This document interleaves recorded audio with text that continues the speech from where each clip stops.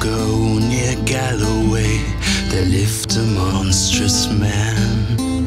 He broke the law and he broke bones, therefore he got banned.